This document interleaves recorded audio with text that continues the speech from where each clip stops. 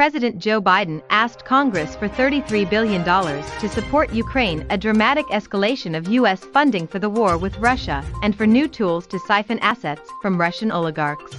As the public combs through Elon Musk's Twitter feed for clues on how the billionaire entrepreneur intends to run the social media platform he's buying for $44 billion, one mysterious line stands out, authenticate all real humans.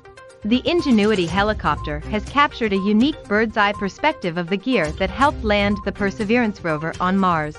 From the very start of the employment of Joe Schoen as GM and Brian Daboll as head coach, there was more hope than overwhelming confidence expressed that Daniel Jones would be the franchise QB.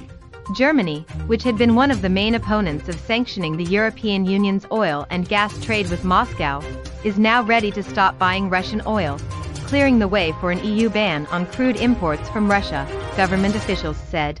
Crows Crows Crows enormously updated the Stanley Parable, and it really wants to screw with you.